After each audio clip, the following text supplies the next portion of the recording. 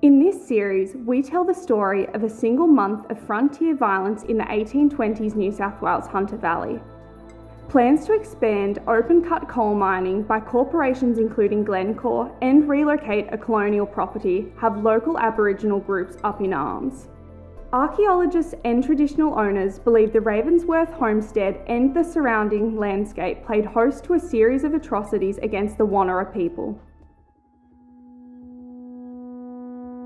This is a significantly bad place.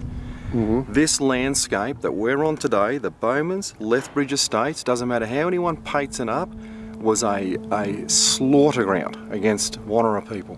Mm-hmm. Was for over 10 years. On August 1st, 1826, a Wonnarua man known to whites as Jacky Jacky was shot dead in police custody. He'd been arrested by Lieutenant Lowe of the New South Wales Mounted Police on suspicion of the murder of a watchman, despite doubts over his identity. The killing, without trial, followed a month of escalating frontier violence in the region. According to some accounts, Governor Darling's appointment of Lowe led to a campaign of terror in the Upper Hunter. That feeling of disquiet persists today, where the Ravensworth estate, a centre of violence, is concerned. No, you were told not to go there. That's what you get. Yep. Yeah, and, and I did, and I got in trouble. Mm. Basically, wasn't allowed out of mum's sight again. Yeah. Aboriginal people were buried out there, and mainly men.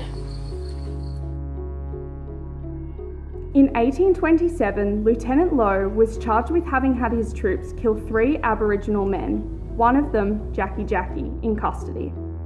The Supreme Court trial and debate over the legal protection afforded to Aboriginal people in such cases raised as many questions as it answered. The witnesses to the killing, with their convict histories, were deemed unreliable, and Lowe was acquitted to applause. He admitted the murder. There was uncontradicted evidence that he directed the murder.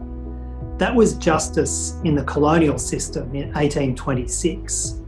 The question is whether in 2021 First Nations peoples in the Hunter Valley will be given a different measure of justice. We'll only know that when we have a decision from the Environment Minister.